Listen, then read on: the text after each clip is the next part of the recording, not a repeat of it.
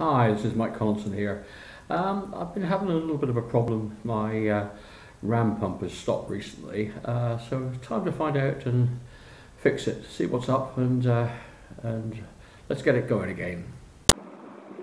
Right, let's take a look and see what's happening. Uh, there shouldn't be there shouldn't be water coming out of the top of this. It should either be stopping and starting or just stopped. Yeah, the the water is leaking past the valve, and uh, I'm pretty sure that's the uh, that's the problem. It's probably worn out after the amount of use it's had over the last couple of years. So I think it's time we we're going to have to take it off and fix it.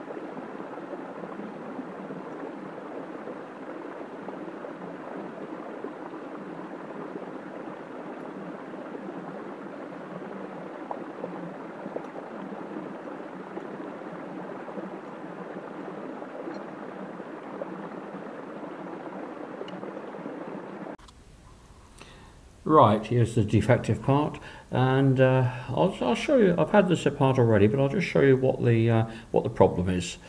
We just take out the little screw here, and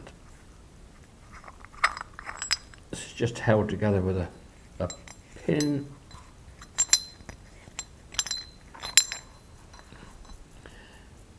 And here you can see the uh, the line all the way around where it's worn and uh, it's also worn on the on the side there. There's a piece out at the side and another piece out the side here. Both of these are making the um, uh, water escape and uh, of course loss of pressure and uh, it works it doesn't work any longer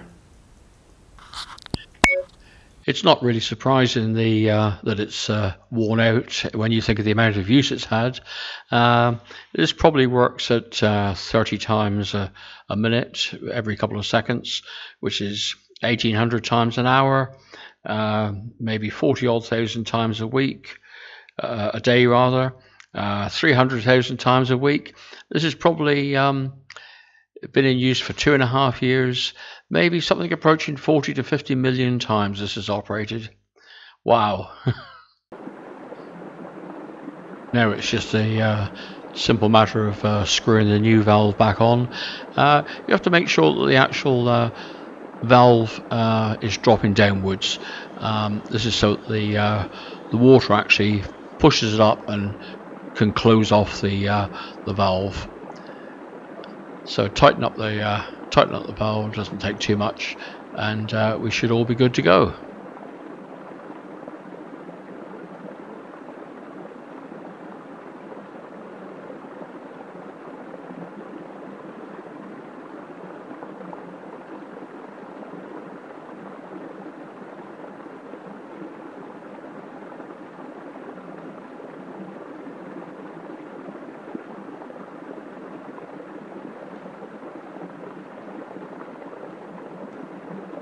Just need to prime it a few times now and uh, get the water through and we should be uh, we should be back in operation again